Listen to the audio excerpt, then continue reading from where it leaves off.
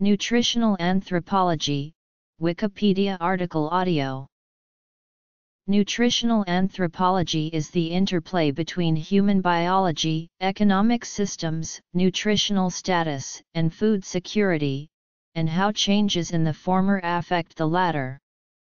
If economic and environmental changes in a community affect access to food, food security, and dietary health, then this interplay between culture and biology is in turn connected to broader historical and economic trends associated with globalization.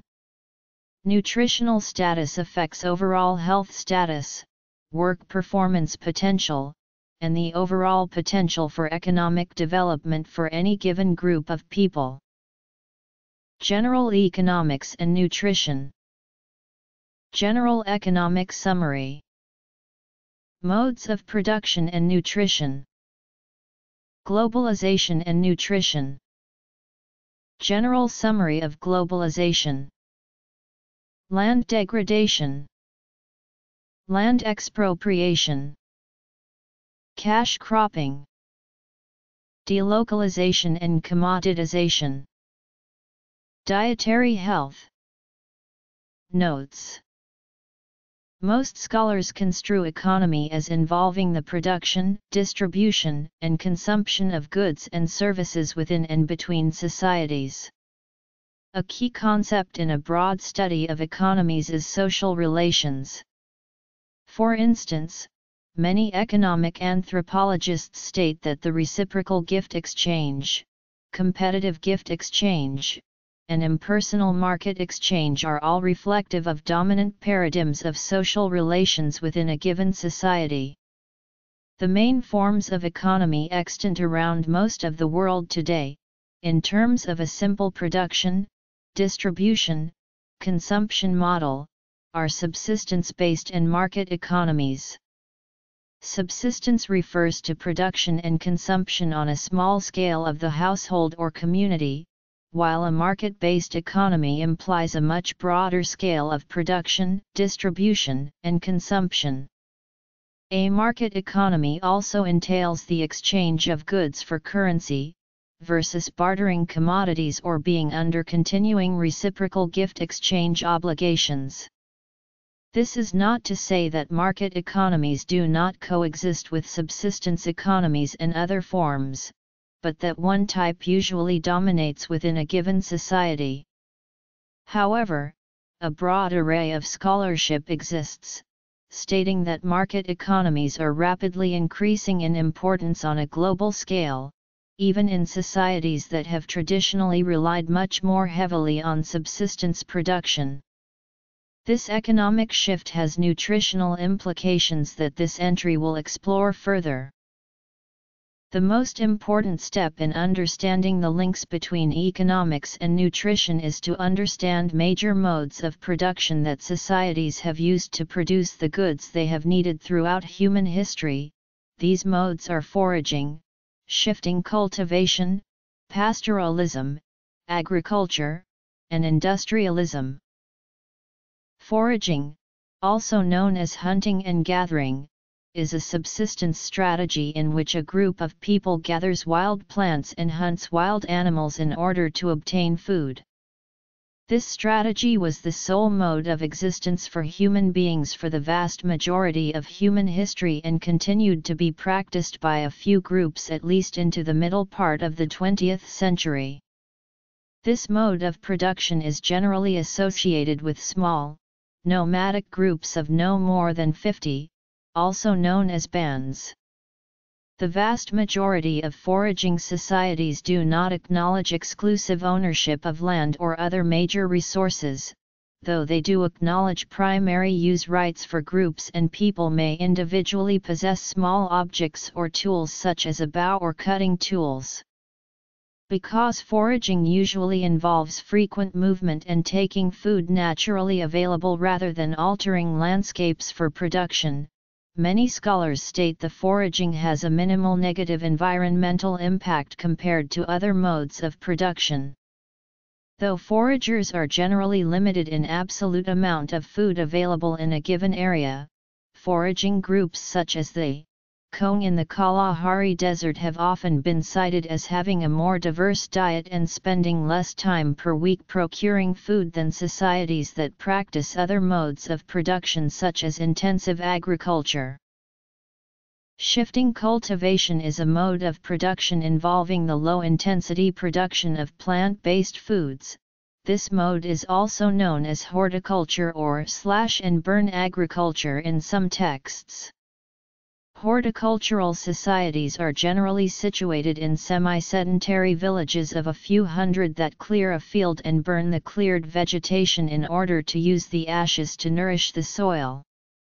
Next, the group plants a crop or crops in this clearing and uses it for cultivation for several years.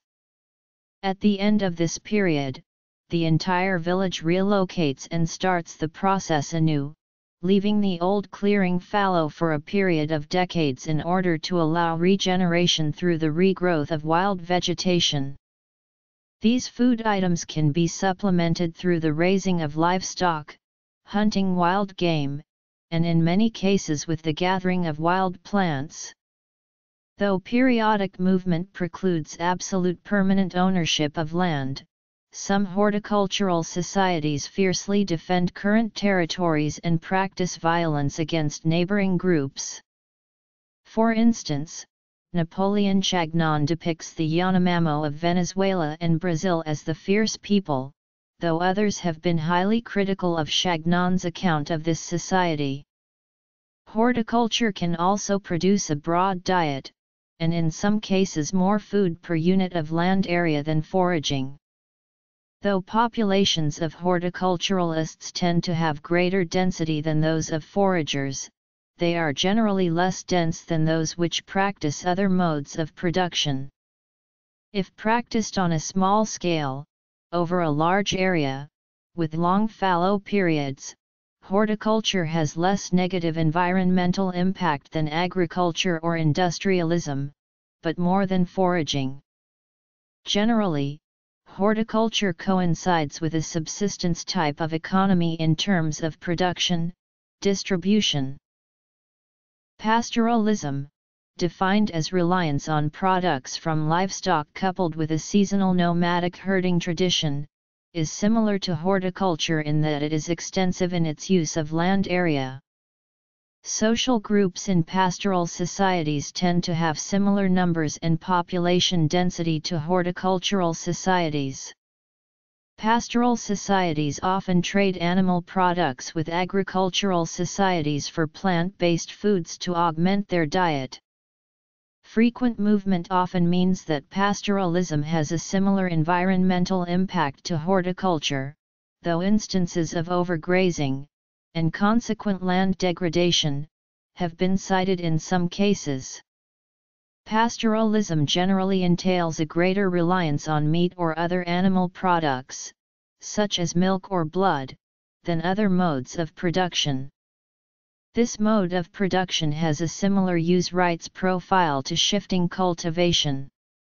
Traditionally, pastoralism has coincided with a subsistence-based economy, but in the last several decades, some pastoralist societies, such as Mongolia, have herded animals and practiced nomadic living patterns but have produced livestock primarily for market exchange. Agriculture, sometimes referred to as intensive agriculture, involves clearing and using the same plot of land for an extended period, sometimes several generations. It also involves the use of plows and draft animals in the preparation of land for planting and the cultivation of crops. Agriculture often supports much higher population densities than other modes of production and agricultural societies can range in population from a few thousand into the millions. Though agriculture produces more food per unit of land area than the previously mentioned modes, the tendency of agricultural societies to focus on relatively few crops has often meant that these societies have much less diverse diets than foraging and horticultural societies. There is some archaeological and fossil evidence that populations in transition from foraging to agriculture have tended to suffer reduced stature, reduced musculature, and to exhibit other markers of malnutrition. Research has suggested that agriculture paradoxically allows a higher, but less healthy population for a given area. The advent of agriculture has marked that advent of social stratification in many parts of the world, with marked differentials in access to resources between segments of the same society. This mode of production also is more likely to entail permanent individual or family ownership of particular tracts of land than previously mentioned modes of production. Agriculture has co occurred with both subsistence and market economies, often with a single society exhibiting some degree of both types of economies and has a more negative impact on the environment than the aforementioned modes of production. Industrialism combines agriculture with mechanized industrial production of goods through the use of fossil fuels. Additionally, industrial societies use mechanized equipment in order to prepare land for planting, harvest crops, and distribute food to locations distant from where the original crops were planted. Industrialism shows similar trends to agriculture in terms of population density and environmental impact, except to a much greater degree. Dietary diversity can be highly variable under an industrial mode of production and can depend on access to foods produced for local subsistence on the one hand, or to income level and purchasing power vis-a-vis foods available in food markets. Dietary diversity and nutritional health often correlate with the degree of social stratification within an industrial society and sometimes between societies. With the exception of Soviet model states, industrial societies are heavily based on the concept of private property rights and the accumulation of profit through free enterprise. The general trend for many societies over the past several millennia has been toward agriculture, and in the past two centuries, toward industrialism. Though these two modes of production are by no means superior to other modes in every respect, the fact that societies that practice them tend to have larger populations, higher population densities, and a more complex social structure has correlated with the geographic expansion of agricultural and industrial societies at the expense of societies emphasizing other modes of production. Concurrent with this trend toward intensified agricultural and industrial production has been the rise of the social and economic paradigm of capitalism, which entails the production and sale of goods and services in the marketplace in order to produce a profit. These trends have had profound implications for nutritional status for human beings on a global scale. In order to discern how broader economic and environmental trends affect a community's food systems, food security, and nutritional status, it is important to summarize one of the most significant economic and ecological phenomena today, globalization. The next section will treat the linkages between economic and ideological trends over the last several centuries and environmental and political economic factors affecting access to food and nutritional status.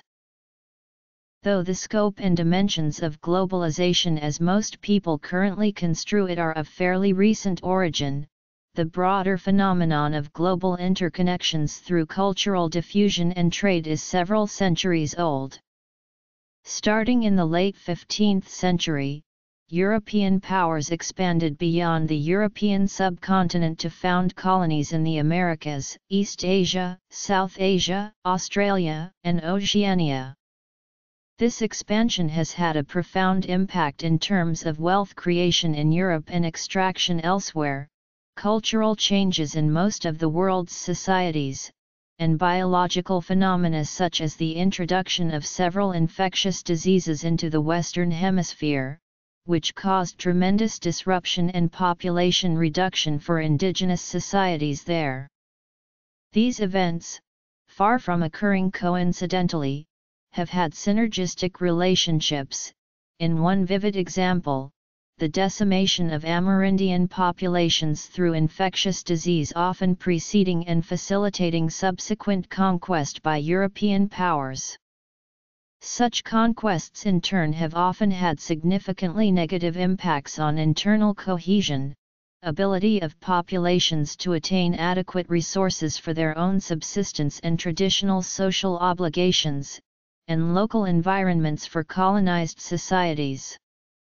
In order to understand the effects of globalization on nutritional status and food security, it is important to understand the historical circumstances that have led to contemporary globalization, and that still manifest themselves in political, social, material, and physical health differentials between the different peoples of the world today.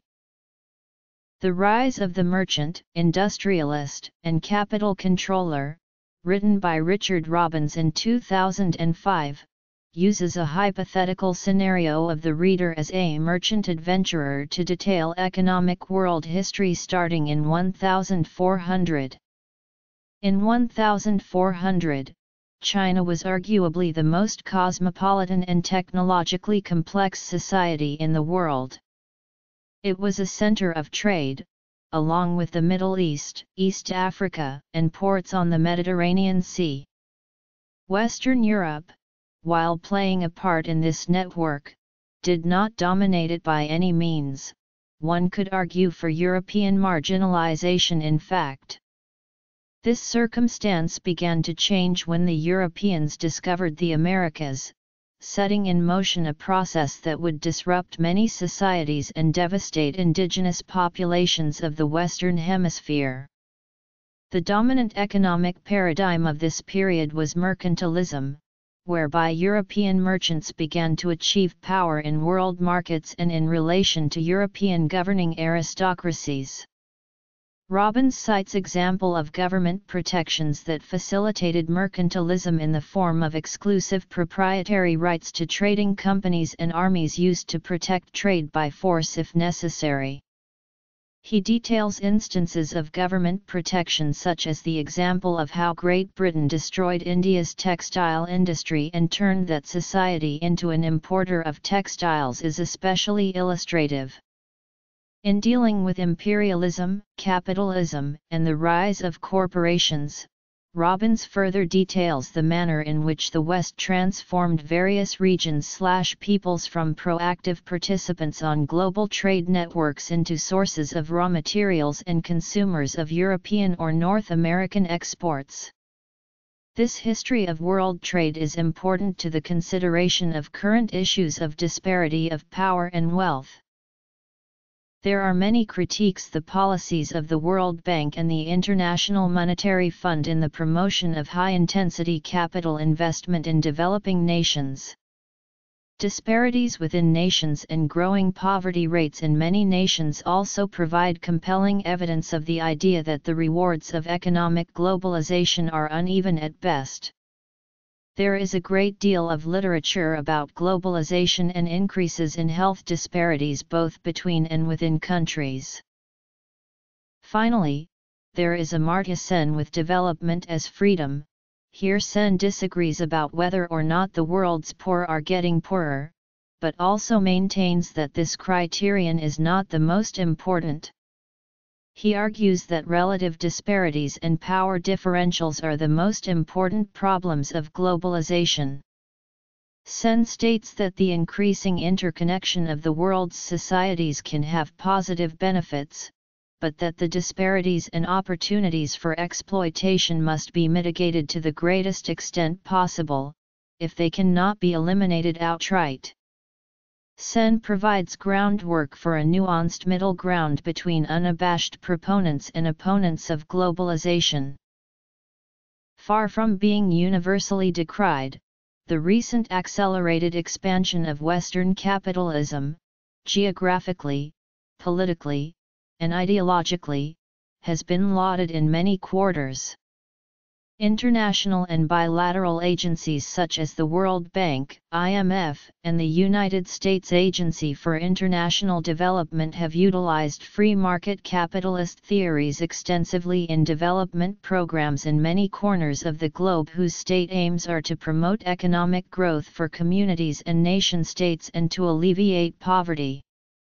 Likewise prominent individuals such as former U.S. Federal Reserve Board Chair Alan Greenspan and U.S.-based journalist Thomas Friedman have held forth extensively about the possibilities of economic and social improvement in developed and developing nations alike, mainly through increased access to appropriate education, sophisticated communications, and transportation technology, and a paradigm of social and economic flexibility, where individuals and communities who can best adapt to rapid changes in the role of governments and the particular economic base of a given location would be in the best position to take advantage of the opportunities offered by economic, political, and cultural globalization. This free market ideology is also predominant in the policies and procedures of the World Trade Organization and many transnational corporations, most of which are headquartered in developed nations.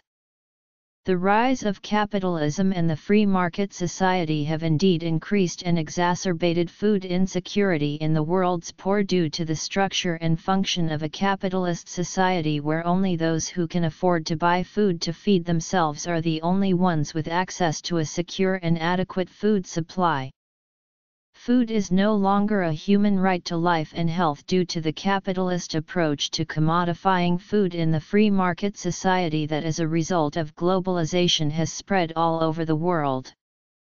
Transnational corporations and trade organizations such as NAFTA facilitate this approach of commodifying our world's food supply by enforcing laws and regulations which further deepen the inequality of wealth and unequal distribution of common goods such as food between the rich and the poor. In contrast to the Western economic model, most early social scholarship about economics stressed the predominance of reciprocity as a primary driving force in traditional non-Western societies. Marcel Mauss referred to the gift as a total social phenomenon, fraught with ritual and socio-political as well as material significance. Though some objects, such as armbands or shell necklaces in the Kula ring that runs through several island groups off the coast of Papua New Guinea, might induce some form of prestige-based competition, the terms of exchange are significantly different than a monetary transaction under a modern capitalist system. While a Appadurai actually describes ritual objects as a type of commodity, he couches them as such under significantly different terms than the market-based types of commodity normally treated by economists. Annette Weiner criticizes earlier works in anthropology and sociology that depicted simple societies utilizing a simple version of reciprocity. Whatever the theoretical stance of social scholars on non-Western traditional economies, there is a consensus that such essentials as food and water tended to be shared more freely than other types of goods or services. This dynamic tends to change with the introduction of a market-based economy into a society, with food coming to be increasingly treated as a commodity, rather than a social good or an essential component of health and survival. Regardless of one's overall perspective on the costs and benefits of economic globalization, there are several examples in social scholarship of groups of people suffering a decline in nutritional status subsequent to the introduction of a capitalist market-based economy into an area that has previously practiced an economy based more on subsistence production and reciprocity. Although some people's food security may improve with access to more steady income, many people in communities that have heretofore practiced a subsistence economy may experience greater food insecurity and nutritional status due to insufficient income to replace the foods no longer produced by a household. Whether the growth of food insecurity and socio-economic disparities in many parts of the world in recent decades is an inherent part of globalization or a temporary growing pain until economic development attains its full efficacy is a matter of debate, but there are many empirical examples of communities being dissociated from traditional means of food production and not being able to find sufficient wages in a new market economy to achieve a balanced and calorically sufficient diet.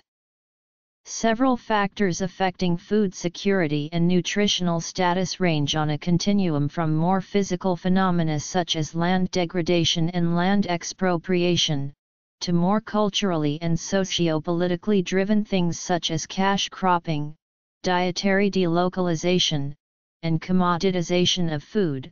One important caveat is that all of these trends are interconnected and fall under a broad category of socio-cultural and economic disruptions and dislocations under the current paradigm of globalization. Though Blaikie and Brookfield acknowledge the problematic aspects of defining land degradation, with definitional variation depending in large part on the scholar or stakeholder in question, they do outline a general idea of reduced soil fertility and reduced ability of a given area of land to provide for people's subsistence needs, as compared to earlier periods in human history on that same land area. Paul Farmer discusses the effects of land degradation in central Haiti on local people's ability to produce sufficient food for their families within the environs of their own communities. Farmer links malnutrition in a Haitian village with vulnerability to infectious diseases, including tuberculosis and HIV/AIDS, both in terms of chance of infection and severity of symptoms for those infected. While the extremely low percentage of the U.S. population involved in agriculture strongly suggests that direct access to arable land is not an absolute necessity for food security and nutritional health, land degradation in many developing nations is accelerating the rate of rural to urban migration at a more accelerated rate than most major cities are equipped to handle. Leatherman and Goodman also allude to land degradation CO occurring with decreases in food security and nutritional status in some communities in the Mexican state of Quintana Roo. Walter Edgar discusses the correlation between land degradation and economic disruption, as well as nutritional hardship, in the U.S. state of South Carolina in the decades following the Reconstruction period. Coupled with land expropriation, land degradation has the effect of thrusting unprepared subsistence producers or other peasant farmers into a fast-paced and complex market economy heavily influenced by policy makers who are far removed from the concerns and worldview of small-scale farmers in developing countries.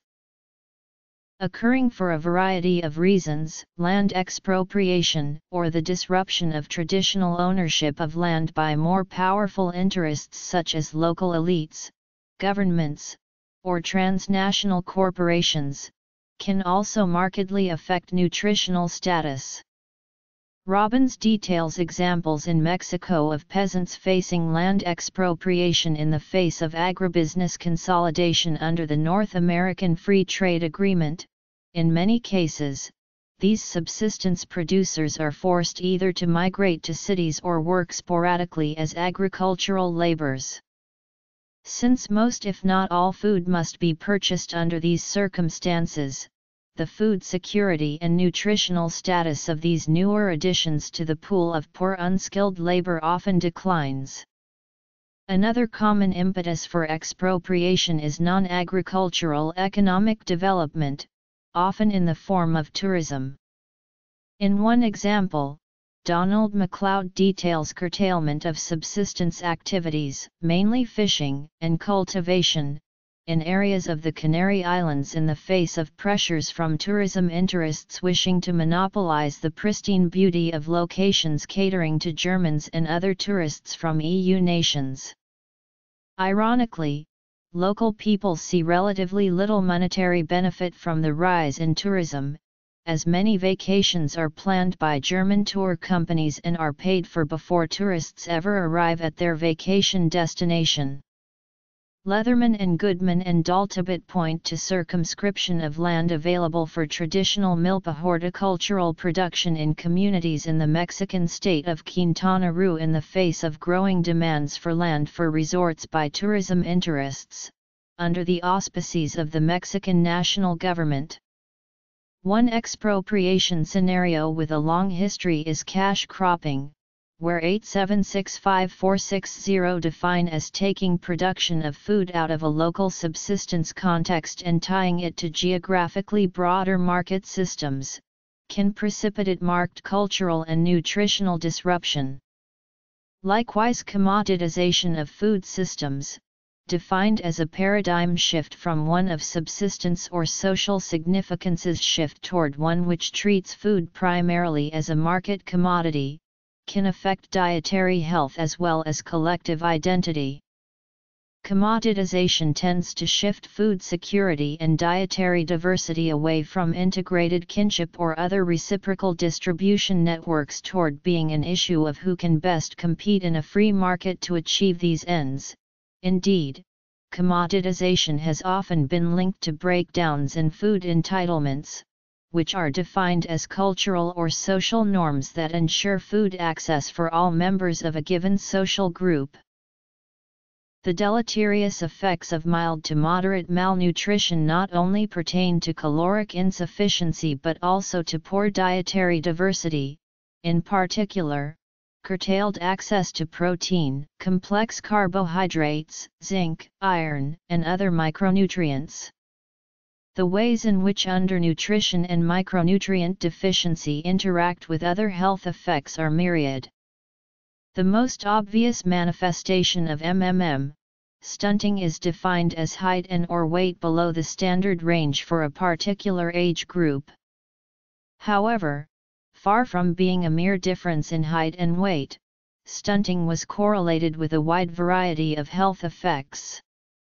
Closely related to stunting, level of physical activity closely articulates with nutritional status and affects childhood development. Chronically malnourished infants and toddlers showed decreased physical activity compared to supplemented groups or those who are adequately nourished. Perhaps, the most critical facets of human development correlated to nutrition levels are behavior and cognition. Development in these two areas could have profound effects on life chances for individuals and populations. In comparing a group of southern Mexican children subject to MMM and a group in the same region who received dietary supplements, Chavez et al. show a relation between MMM and poorer school performance. Unsupplemented children showed poorer participation, greater degree of in-class distraction, more sleeping in class, and poorer performance on standardized tests. In addition, malnourished children showed poorer scores on intelligence quotient tests than their supplemented counterparts. Of all the aspects of human existence, sexual reproduction may have the most detailed articulation with malnutrition. In populations subject to MMM, menarche occurs later than in adequately nourished populations. An early average menopause makes for a relatively short reproductive period for women in the study area for Chavez et al. Because of longer postpartum periods of amenorrhea, Birth spacing was an average of 27 months, versus 19 months.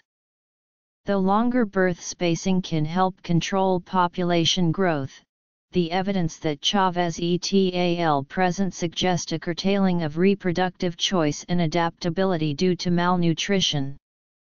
This study also linked maternal MMM with higher infant and young child mortality.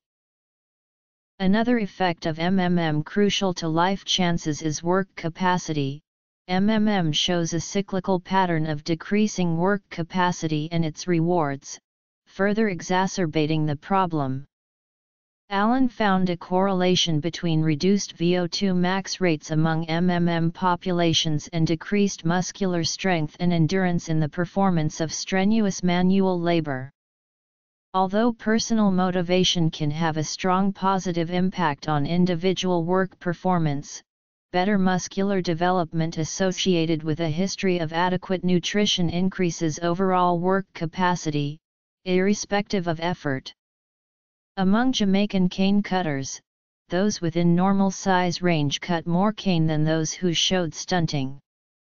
One cultural variation in this trend was found among MMM Guatemalan workers who put forth work effort comparable to better nourished counterparts, but were likely to engage in resting behavior than in recreational or social activity during off hours. In wage economies where workers get paid in proportion to productive output, reduced work capacity can translate to reduced food security, increasing the risk of MMM. Additionally, malnutrition and infectious disease have a synergistic relationship that can lead to spiraling health deterioration. According to Allen, the incidence of infectious disease does not vary significantly between MMM and adequately nourished populations, but the duration and severity of disease episodes is greater for MMM populations. A key reason for this disparity is that infectious disease often results in poor food intake and nutrient absorption. Not only do sick people generally eat little, but what they do eat is often of minimal benefit due to nausea and diarrhea.